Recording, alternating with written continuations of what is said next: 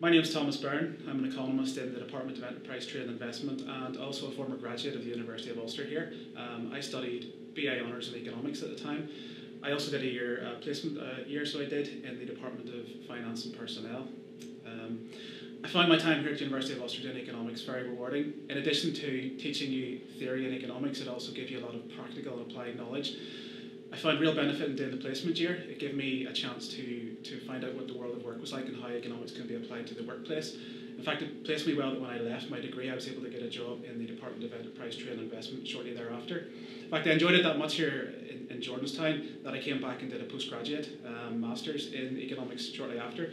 So I would wholeheartedly recommend the economics degree here, not only in giving you a good understanding of the subject, but in giving you the kind of practical skills you need to get a job at the end.